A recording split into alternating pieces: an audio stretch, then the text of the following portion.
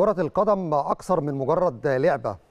لم تمنع الإعاقة البصرية إكرامي أحمد مشجع النادي الأهلي من متابعة مباريات الفريق النادي الأهلي في كأس العالم للأندية ودعم مؤازرة الفريق وسط آلاف المشجعين.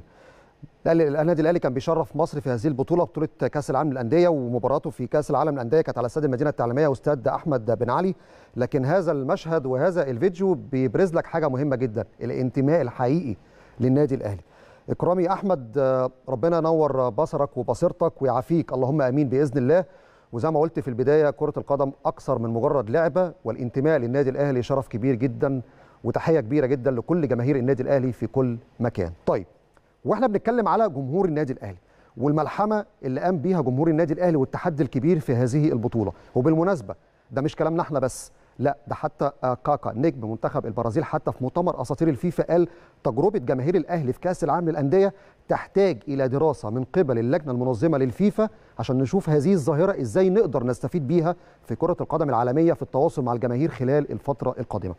إحنا كنا أول من ألقينا الضوء على دور رابطة مشجعي النادي الأهلي في كأس العالم للأندية والتحدي اللي هيقدروا يقوموا بيه قبل انطلاق البطولة ب 72 ساعة.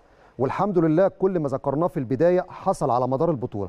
لذلك وإحنا بنقترب من المشهد الختامي هنلقي الضوء أيضا على المشهد الختامي اللي ممكن تقوم بيه رابطة مشجعي النادي الأهلي مع الفريق واللي كان أبرز حدث وأكثر حاجة أسعدتنا خلال هذه البطولة. لذلك في هذه اللحظات أنا برحب بالمستشار حسام أبو العلا رئيس رابطة مشجعي النادي الأهلي من أرض المونديال محفزا ومؤازرا لفريق النادي الأهلي في المشهد الختامي مع كل الجماهير غدا في استاد المدينة التعليمية. معالي المستشار أهلا بيك وبرحب بيك على شاشة قناة الأهلي.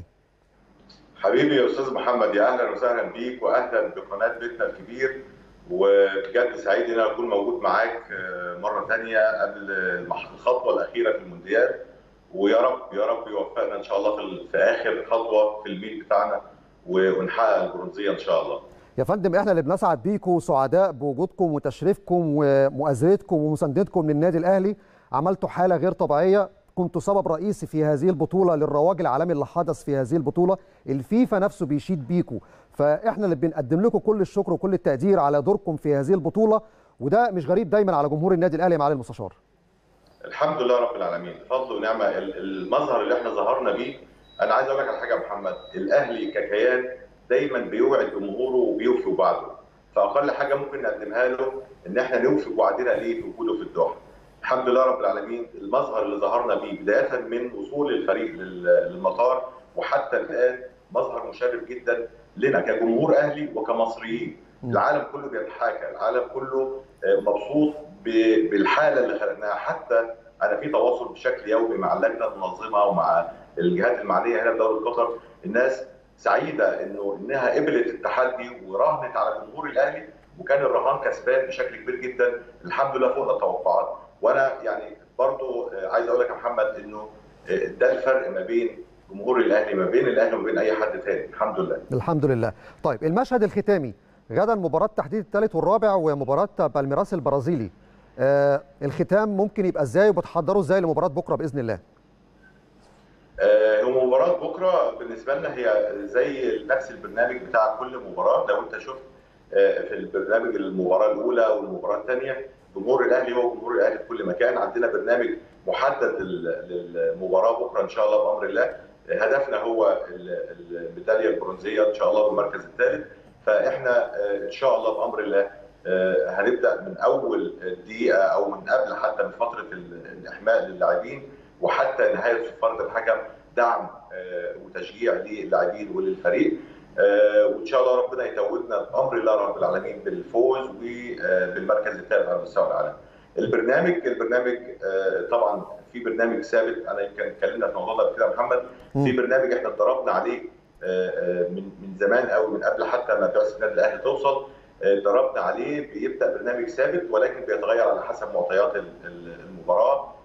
بنعتمد بشكل كبير جدا إن إحنا يكون عندنا في توزيع الجماهير داخل الاستاد والتدريب ما بين الجماهير وبعضها إنه الواحد فعلا يكون بمليون وإنه قعدنا في الثالثه شمال ولا ما قعدناش في الثالثه شمال يكون الاستاد كله ثالثه شمال والحمد لله ده ظهر وشفناه في المباراتين اللي فاتوا وهنكمل إن شاء الله في مباراه بكرة ومع الفريق لآخر نفس لغاية لما نحقق طموحنا إن شاء الله.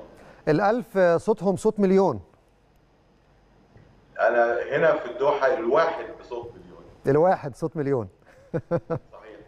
طيب. مع مع طبعا مع العدد لأن إحنا خدنا في الاعتبار حتى في التدريبات اللي كنا بنشتغل فيها محمد إنه إحنا مش حضور عادي مش حضور ال- ال- الاستاد بطاقته الاستيعابية كاملة هم 30% بس وبالتالي هيكون في تباعد اجتماعي ف- فمفيش كتل كتل جماهيرية هتكون موجودة جنب بعضيها حفاظا على الإجراءات الاحترازية فكان آه، اليه أو البرنامج كنا متفقين عليه إنه آه، يظهر بالشكل ده إنه الواحد فعلا يكون بمليون. وده ده طبيعي في جمهور الأهلي الواحد بمليون. ربنا يحفظهم بإذن ويبارك لهم جميعا يا رب.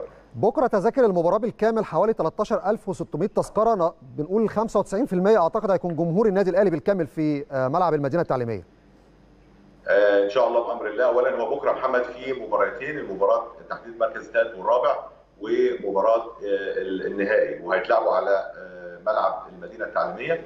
إن شاء الله إحنا المباراة بتاعتنا الأولى. ال- التذاكر اولا كان فيها مرحلتين. مرحلة افتتاح ال- الأونلاين ما قبل بدايه البطولة ودي آه، نسبة 95% زي ما أنت قلت خدها جماهير النادي الأهلي. وبعد كده بدأت تفتح تدريجيا أنا جالي يعني كان في نقاش بيني وبين حد من مركز ال ticketing في الفيفا قال الاقبال على link التذاكر من جماهير الأهلي تاريخي ما حصلش في أي بطولة سابقه قبل كده. فالكل حريص على الحضور. الحمد لله أنا اكاد أجزم إنه فوق ال 95% من من الجماهير الحاضره بكرة في الاستاد إن شاء الله هيكون جماهير النادي الأهلي. بإذن الله إن شاء الله. معالي المستشار حسام أبو العلا طبعا رئيس رابطة مشجعي النادي الأهلي بشكرك شكرا جزيلا وكل التوفيق يا رب في مباراة. الغد والمشهد الختامي يكون على أعلى مستوى زي ما حدث في بداية انطلاق البطولة. أخرج إلى فاصل وبعد الفاصل لسه عندنا الأخبار والمزيد ولكن بعد الفاصل.